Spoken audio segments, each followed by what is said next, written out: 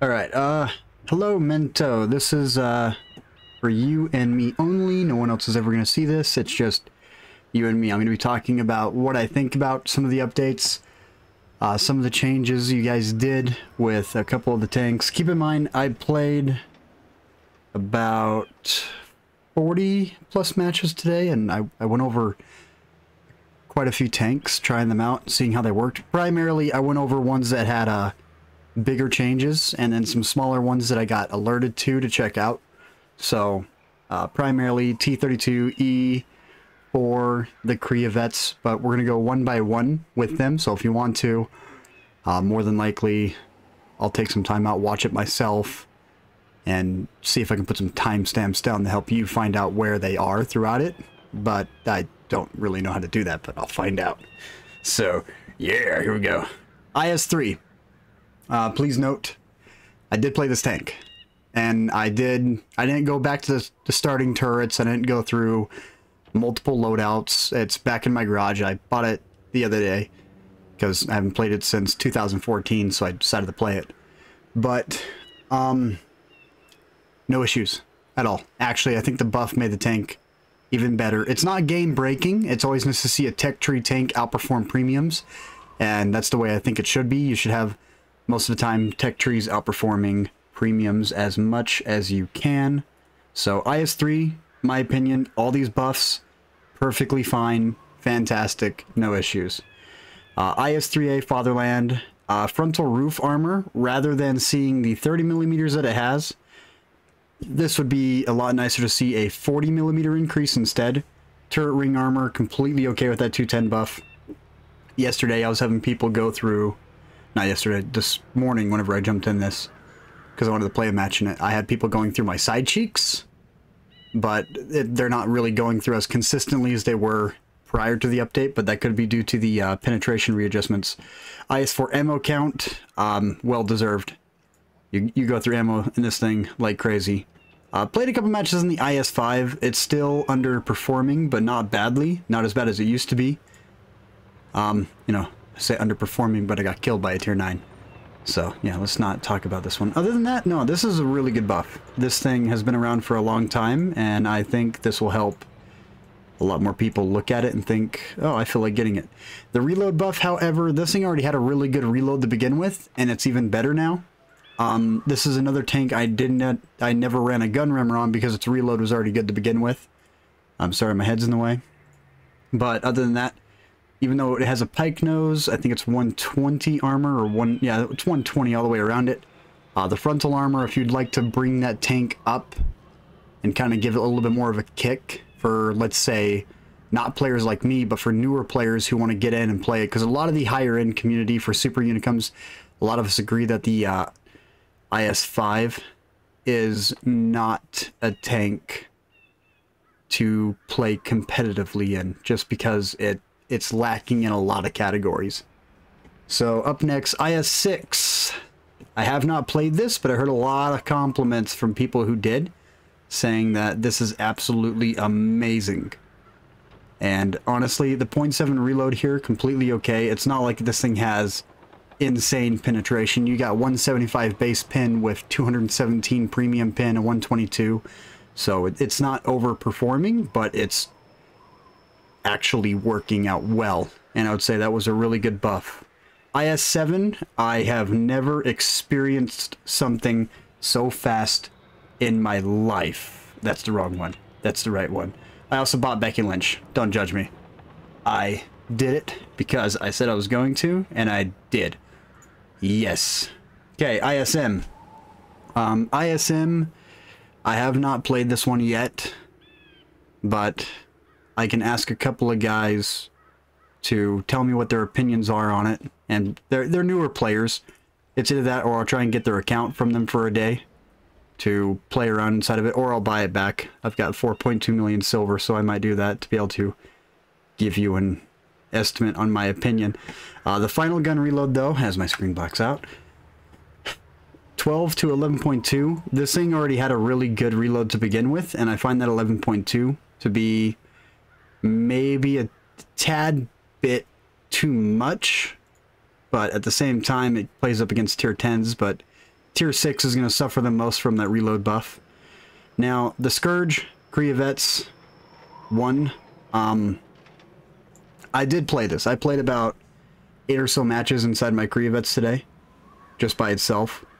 And I can tell you now, um, that reload buff needs to be brought back. The accuracy for turret rotation, or during movement rotation, totally fine. But having a 10 second reload is without using a gun rammer. With a gun rammer 9.1, I bought a gun rammer and I didn't play with a gun rammer. Um, my reasons why this should be reverted back is I'll actually bring it over real quick and do heavy tanks. A quick comparison. This is going to end up a lot longer than 15 minutes, that's for sure. But I'm going to bring you right here so we have stat pages. Going to go back. Okay, starting off, we're going to take a look at the Kriya Vets. We're also going to look at the base reloads. Keep in mind, gun rammer, all sorts of stuff. I might take myself off the cam here. That we got better look at the uh, statistics. But starting off, power to weight, 15.16. That's one of the main reasons why I think we should revert the reload.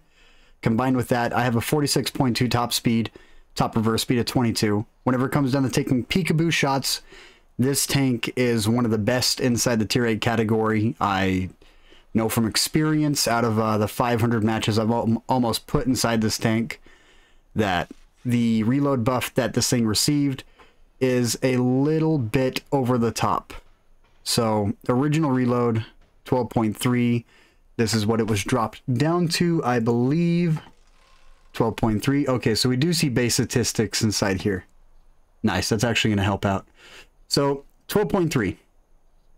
With all of my perks, I don't even run a gun rammer, just my crew. I dropped 2.3 seconds off my reload, which allows me to fire one round every single 10 seconds.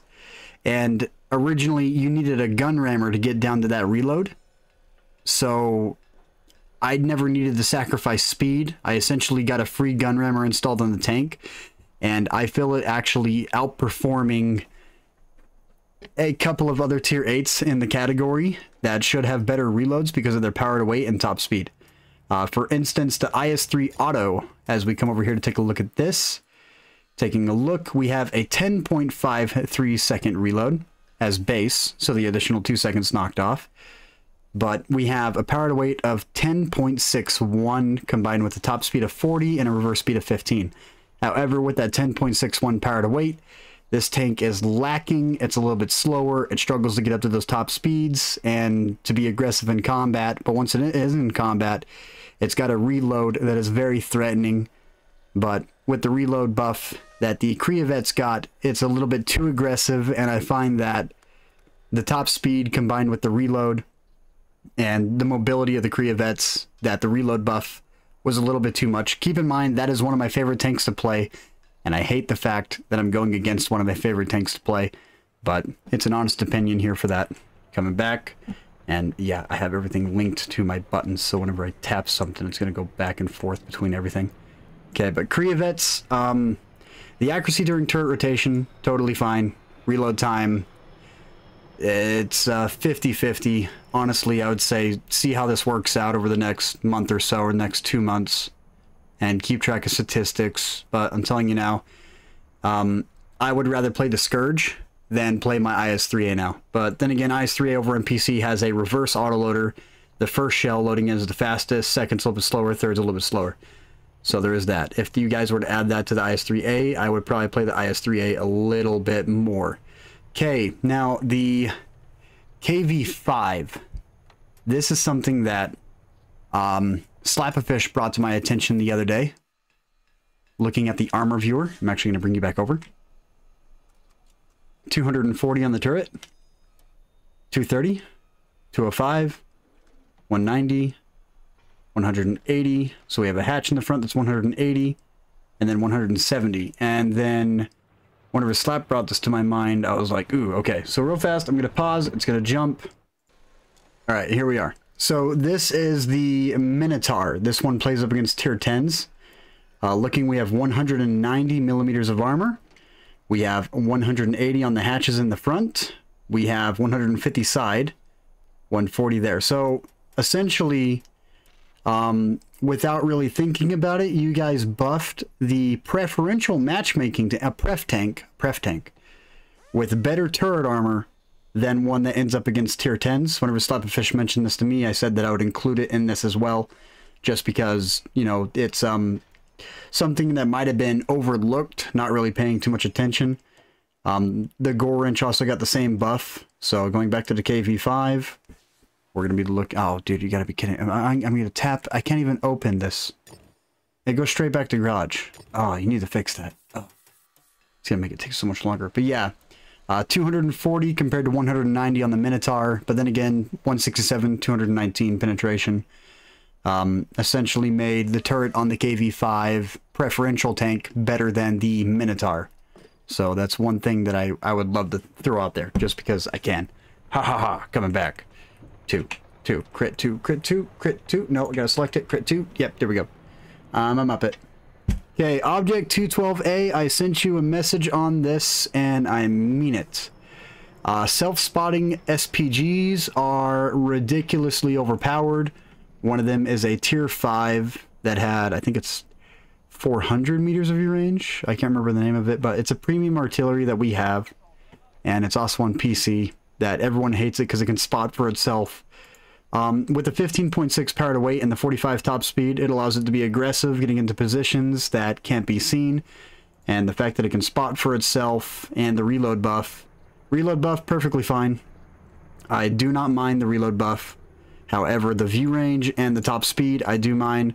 The reverse speed, not too worried about that. It's only 12. It's not like it's 30 or 20. If it was 20, it would allow this tank to really get behind and move fast. And, um, yeah, just 45 top speed is a little bit intense, especially with the view range. So, just, yeah, that's all I gotta say about that. The view range, if you subtract the view range, that's literally it. You can leave the top speed alone, but that view range is gonna kill a lot of people. Um, up next, 257. I actually heard a lot of really good replies about this. Nothing too crazy. It's not overpowered. It's handling really well inside the queues. Uh, 45 millimeters on the top roof armor for turret 1. Um, everyone asked to test this. They did not use the stock turret. They used the fully upgraded turret. So for newer players grinding out the tank, they're going to really enjoy the fact that they're not getting overmatched. Up next, we have turret 2 frontal armor from 30 to 60, which honestly everyone that has the fully upgraded turret and they're trying this out. Uh, we did take this into a private match and we were using 155s and they had a blast because we were not pinning. Okay, up next, Object 260. This buff is heavily appreciated except for the fact you over buffed it. I'm not saying you, Mento, I'm saying the developers. So, uh, what I mean by over buff is I'm actually going to pause real quick and go grab a secondary mouse. That way I can show you the cutoff points that we should have. Alright, and we're back. I got my mouse. okay, so starting off with the Object 260, uh, taking a look at the top armor here, you can kind of see a little slant in the armor about right here. Little slant, nothing too crazy. So up next, we're going to go to the 55 millimeters of armor. Right here, oh gosh dang it, you guys are screwing this all up. Uh, right here should be the cutoff point, that little line. And uh, actually going to bring up Tanks GG real fast as I'm being a Muppet. Wrong freaking one, thank you. Full tank list, we're going to go Russia, Object 260, 3D model, we're going to go live. What I mean by this is that um, whenever you have a tank and you're kind of overexposing, it's always nice to know that if you come up too far or you start driving down a hill or let's say you're on an incline like this and your gun is pointing down if we have that 55 going all the way across, there is no weak spot, and you can find angles that you're physically impinnable, period. So for the back part, we're going to need 30, but the front of it at 55, that's the PC standard for this tank, but we do need that overmatch inside the back. Because if you don't have that overmatch, this turret will basically be impinnable whenever it comes down to um, regular matchmaking. So that's something that uh, we don't want to do. We don't want to have something too overpowered. We want to have that little bit of a space in the back. That way people have a spot to aim for. Rather than all of this being purple and only aiming for the hatch, which is small. You have this larger area in the back that you can hit and punish someone for coming over a hill. Or essentially, if they're hauled down like this, this is how the 260 should be played. Super hard to pin. Even with heat rounds, the only thing that really is exposed is the hatch. And a portion of the cheeks against, let's say, like a Yagru or 268 version 5. Now, okay. So that is that. Gonna come back. Um, yeah, that's essentially 260 in a nutshell for me. Uh, up next, we're to be looking at the Object 261. Um, terrain resistance, I have no issue with that. Not a lot of people really do. Just because it's just terrain resistance. It allows them to rotate quicker. Um, terrain resistance also improves your travel speed uphill and through muddy terrain. So that does make a little bit of a difference. Uh, 263, honestly, um, these buffs, they're appreciated, but they weren't really needed. But they're appreciated. Okay, up next, we have the 268. Um, honestly, the health buff, a little bit too much. Um, I actually think you guys should take away the health.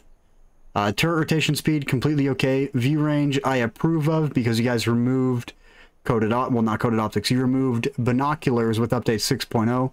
So these will be okay. Reload time done to 16 seconds. Um, my only reply to this is, why does the E3 still have a 19.8 second reload? Sorry, I'm gonna do it. But yeah, that's that's this. Uh, accuracy during turret rotation, totally fine. Uh, left to right gun arc, this was one of the tanks you mentioned to me that people were complaining about.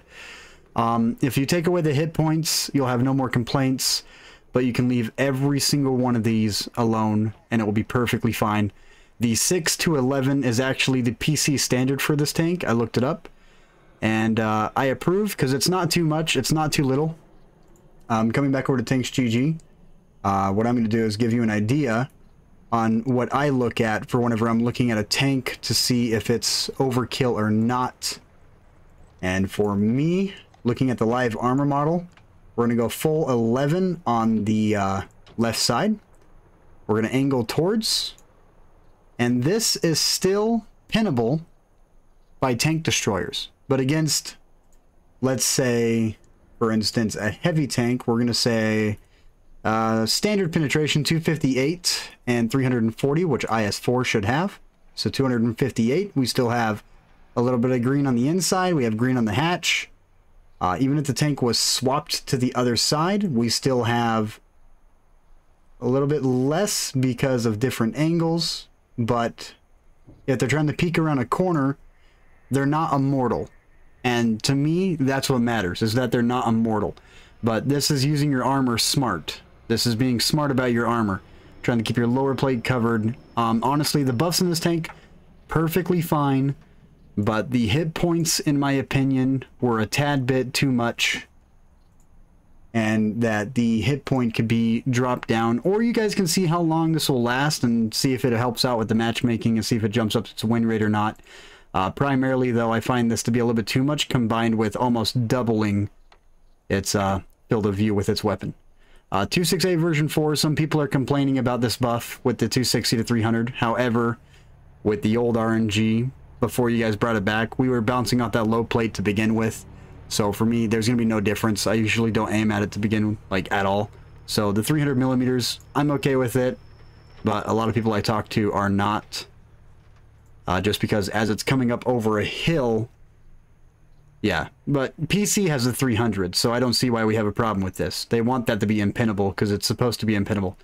You got to aim for the 85 millimeter low plate or wait for the 100 millimeter top plate to be exposed not just load the premium rounds and kill the tank instantly. So this I do approve of.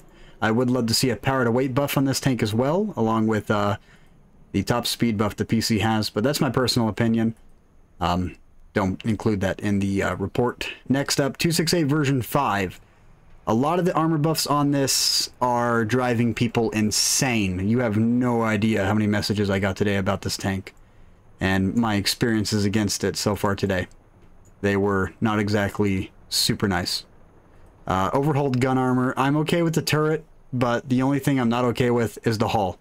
If you revert the hull armor, I'm pretty sure you'll get some better feedback. Don't even mention that you have the uh, armor panels on top of the tank overhauled, just the hull armor. Other than that, that tank's um, a little bit too strong at this moment in time. Object 277, I have not played this tank, but I can tell you now, I'm seeing a lot more of them, and it makes me happy that I'm bouncing off their top plate, because beforehand I used to not. So this, I'm just going to say 277, this buff, heavily appreciated. Um, much love from me as well. I'm getting ready to uh, start grinding this tank out again and just have some fun. Uh, 279E, honestly, reload time buff, mm, aim time buff, accuracy buff. Uh, revert the aim time, leave the reload. We do not need this aim time. We do not need fast aim times on Russian tanks. Especially since right now everyone's thinking that there's a massive Russian bias. So this, revert the aim time, everything else looks perfectly fine. Um, they did the medium terrain at 1.5 and they left the soft terrain at 2.5, so this this is okay. As long as people are running off-road driving on this tank, it'll feel a lot better. So, yeah. Other than that, aim time, a little bit too much. Uh, up next, 705. A lot of people are enjoying this as well, so I'm just going to skip past it. The 704, completely okay, only a 0.2 second buff. Accuracy only got a 0.1 buff. Uh, honestly, anyone who complains about this, they're they're not thinking too well, because that thing has needed some love for a minute. Now, 705A, I played three matches inside this tank. They weren't exactly great matches. Then again, it's not like every single game you can have a good game. But that engine power buff felt amazing. It was super responsive, doing everything I wanted it to. And just, it felt pretty good. I didn't even notice that there was a reload buff, to be honest. I, I just played the tank and was having fun. Uh, like this buff, this engine power buff, made this tank just that much better.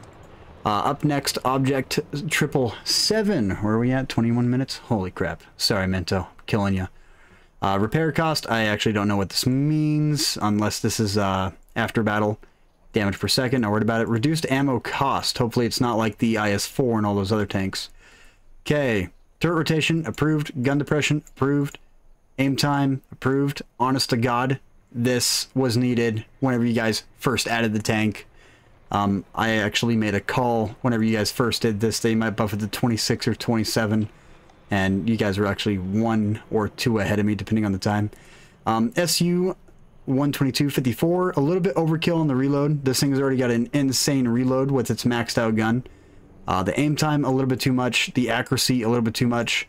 You can leave the reload but drop the aim time, drop the accuracy, or raise the accuracy to 0.44. Because this is on par to the Grille 15, which has got some of the best accuracy in the game. Uh, aim time, it, it's not like it's 1.9, but 2.3 is still really good aim time. Actually, you know? No, this is a mounted turret that doesn't even have a turret. Uh, you know what? Actually, I take that back. Aim time, perfectly fine. Uh, accuracy at 0.34 would have been better or not even messing with the accuracy at all. Uh, up next, T10. I appreciate this myself. I play this tank. If anything, this tank has needed a little bit of a buff for quite some time, except for the reload. That reload was a tremendous buff. And I can say that right now because I three marked it and I've had a lot of fun. Now I'm getting into the ones that actually got me worried and still have me worried. Keep in mind, these are game-breaking changes. I'm not talking about anything else. All those other tanks, they're balancing, they're okay. Sometimes the armor model is a little bit screwed up, but T-54 and the M46 Patton with what they did with the guns is game-breaking. And I'm not talking a little bit. I mean extremely game-breaking. Okay. Coming down to the new shell from 219 to 264. 264 is reserved for tier 10 vehicles, not tier 9s. Um, there's almost no tier 9s in the game that have this penetration. Kampfpanzer 50 ton, not even the E50 has this. Um, the M46 Patton originally had 218, 265, but then they buffed all sorts of guns to have that penetration and felt it was inadequate on the Patton. Rather than that, you could have buffed the Patton's penetration from 218 to 225 leave it alone because it's already got really good top speed, really good power to weight, fantastic view range, but now it has a gun that travels at 1500 meters a second with 264 and 330 heat pin. Now, imagine how a tier 7 feels when it gets hit with 264 APCR pin at 1,315 velocity, and the fact that they increased the accuracy of the gun from 0.39, which is a derpy one, to a 0.33, which is almost pinpoint precision. So this buff I disapprove of heavily. And I mean heavily. This is game breaking. To give you an idea on game breaking, here's a Patton. Keep in mind, these were played by the same player, Scareface, today. Um, these matches were back to back, to back, to back, and then one match. This would be the only match that wasn't back to back. This would be one match and then this match. So, 6,000, 5,490, 8,045. Remember, these were back to back. These ones that I'm showing you now are all back to back. 5,900, 5,400, 8,463. And I asked him his opinion on the tanks. He stopped and told me he believes that this tank needs to be nerfed because it is too powerful. This is his uh, 17 matches that he played today. And taking a look at his average, 4,934 damage. He was averaging 4,000 damage a match with a 52.94 win rate. Um, damage ratio 3.9, kill death ratio 5.0. Keep in mind, this is a very good player. This is not a bad player. This is a very good player of the game. And he's someone that I play with and that we test tanks back to back to see if, you know, it's overkill. And he told me that the Patton buff on the M46 Patton, that penetration is too much on a tier 9, and the fact that it ends up against tier 7s and they stand absolutely no chance. Because not just does the Patton and the T54 have this amazing power to weight, but they also have top speed and decent armor. That mix with high penetration and high velocity rounds, which they never miss, is a um, kind of a mix for a bad combo. To give you an idea on this player, I'm going to come up to his official stats right here. I'm going to remove myself out of the cam. Actually, I'm just going to do this, whatever. That's what time it is, 11.02 p.m. A little bit late for me. But this buff on this tank, a little bit too much. Up at the top left here, we have it taking a look, we got the 390 damage, which is the problem. The 390, 268, 330, 10 second reload. So this thing has the same reload as the E5 before the update. Along with that, we had the 430 version 2, which also has 264 330 heat pin, but this is also a back-mounted turret, and this line is known for high penetration. Honestly, we could leave this alone, and I'd be okay with that. But between the T-54, and the M46 Patton, 19.87 power to weight, and you also guys gave it 0.33 accuracy along with 264 pin. Um, in my opinion, this is a little bit game breaking and too much. 19.3 horsepower to ton, a little bit too much. 15.91, totally fine, with a top speed of 55. This to me is balanced.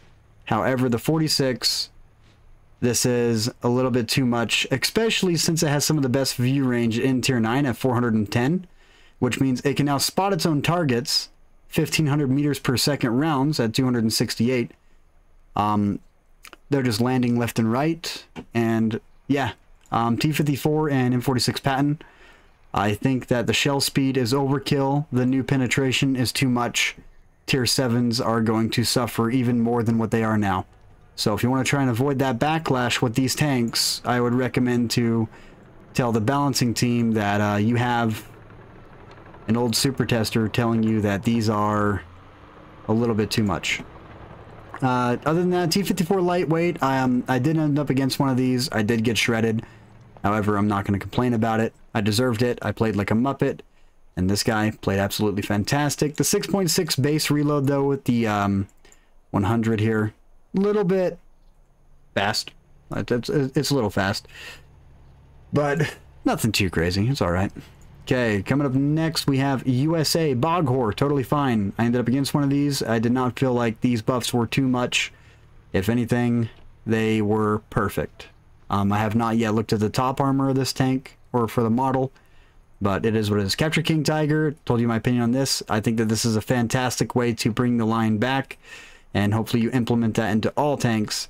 Uh, Chrysler K, totally okay. This thing has horrible base penetration, so reload buff, not worried about it. Concept 1B, have not played it, but I guarantee this is going to feel amazing. And now the Patton. I already stated my opinion on these. These buffs are extremely too much, because you also gave this a heat round from APCR. And changing the, character, the characteristic of a tank, originally people fired nothing but premium out of this tank to get that extra shell velocity to be able to three mark it without a problem. But now you basically gave them a 1478 travel round with 268 base pin, and now they don't even need to load premium. They literally load premium now just to handle hull down super heavies that are in the way. So for me, this was too much, and I would like to see it brought back down. So just know that is my opinion. I'm sorry, dude. This is taking a year. Uh, M48-120 totally fine. M60, um, I would like to see the concealment reverted. Reload's perfectly fine, but concealment's not. M103, buff perfectly okay. No problems there. T25T, totally fine. I'm actually beginning buying this back this week to go ahead and give this new uh, setup a try. I'm actually excited about that. Uh, Patriot, perfectly fine. T28, perfectly fine. Uh, perfectly fine, fine. T30 felt amazing, no problem there. Uh, T32, okay, now we're jumping into um, this category. To give you an idea, the Hull Armor buff was too much. Going over to YouTube, um, I did a stream earlier today, so I'm just going to remove myself from the factor and hit play. So this is the armor test that I was doing we were taking a look at tier 10s. So we have a Death Star, uh, we have a E4, uh, Badger, and an IS-7. And their goal was to fire at the rear armor on top. And originally, this is supposed to be an overmatch point, but it was not being overmatched. It was bouncing, already up to 4,000 damage. Uh, not much of a problem there. And right here, Scare was talking about, we were showing off Scare stats during the M46 gameplay. But the armor on the rear end of that tank is tremendous and really needs a debuff. Rather than 76 millimeters, it would be nice to see it lowered down to 45. And the rear armor with the cutoff point, the cutoff point is very clear. It's kind of like a little metal bar that sticks out of the tank. Lowered down to 38 to the original number. T-34 today felt absolutely amazing. No complaints. I think it's a really good idea. Um, the hatch buff was a tad bit too much from, uh, what was it? It was 177 you guys brought it up to. Frontal armor. Um, yeah, just the hatch buff a little bit too much. Because I don't know if the T29 got the same buff or not, but yeah, if it's on the T29, a little bit too much, but on the tier 8, totally fine. T95, I have not yet tried this with the new rotational speed, but I'm going to. That's going to feel absolutely amazing. Uh, T95E6, um, the health buff, that's PC standard. Uh, the hatch, I would like to see the hatch reverted back to 177.8. 203 is making tier 8s suffer. And then hull armor, this is totally fine. I had no issues with it. But the uh, hatch, this is making tier 8 suffer. I was inside my T-54E2 tier 8 heavy tank, and I was bouncing consistently with an autoloader off of the 203, even though I was aiming directly at the flat spot. Uh, T-1103, I said this before, 17.9 would bring this back in the meta. E4. Uh, too much armor, too much armor, too much armor. Tested it on stream today. Uh, one versus three, and I just took a position, sat still. They all sat still. I blocked 7,000 damage and uh, died. But the thing is, I blocked 7k, and they were struggling to pin it inside of a hull down position on Mountain Pass. So I was guarding the uh, back alley, which really, it's just a gun down position. Uh, normally, if you take that thing to that spot, it's uh, hardcore. Up next, we have the Tortoise. The Tortoise is one that I was, you know, wanted to go over. Um, FV215B, this armor rework was absolutely amazing. Um, I find Commander's Hatch buff to be a little bit too much. Down the 154, 152 would be perfectly fine. It's already really hard to hit that to begin with. I'm starting to lose my voice. Um, up next, we have the FV217. This is the uh, Badger. Side armor reverted back to 152.4. This is fantastic. I stopped playing it because you guys did the 120. But now that it's back to 152, I'm going to be pulling it out and, you know, wiping the dust off. Terrain resistance, it was really nice to see that you guys messed with this. It was sluggish to begin with because this is hard terrain at 1.4. And, uh, yeah, it was struggling a lot. 4000 far Conway, perfectly fine. Reload a little bit too much on that Conway because it has such a high alpha. But that's about it. It's the only complaint I have. Uh, stage 2, 4005, perfectly fine. The horsepower buff, um, I actually would like to see this horsepower drop down the PC standard at 850. Um, turret rotation speed felt really nice. It was still sluggish, but it's better than 12.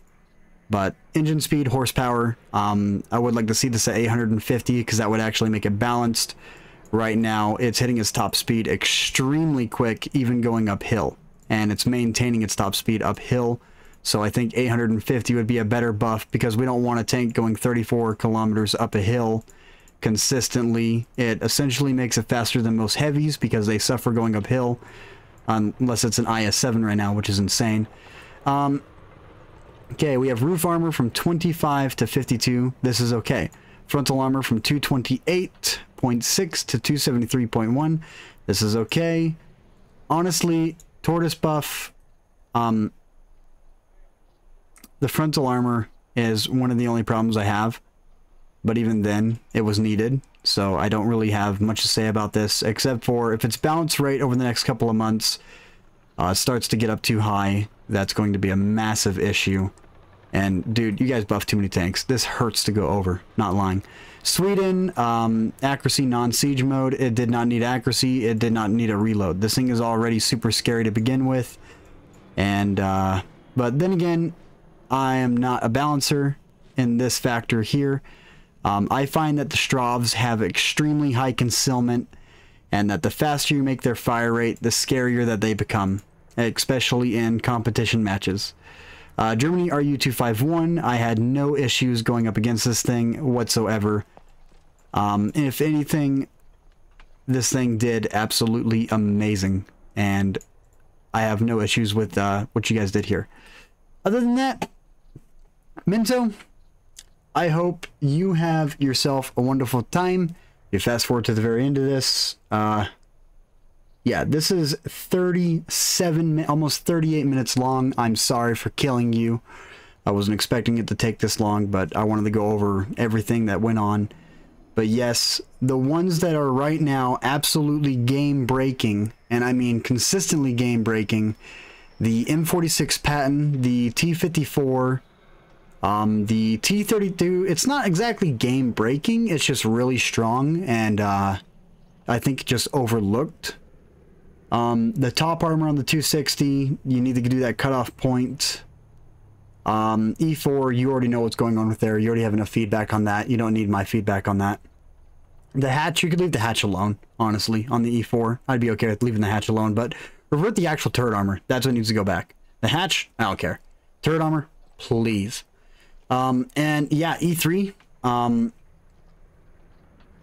17.9 or even an 18 second base reload would make that tank absolutely viable again. But as of right now, it's it's not it's underperforming in my opinion.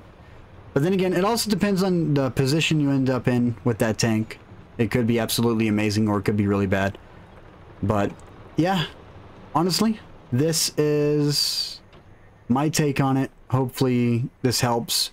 Caernarvon Action X Paladin, aim time. It's got a really fast reload. This makes it where you don't ever have to stop shooting. Uh, little uh, redonkulous, but it's okay. Other than that, thank you. Have a great day. I'm sorry this took 40 minutes. It's long.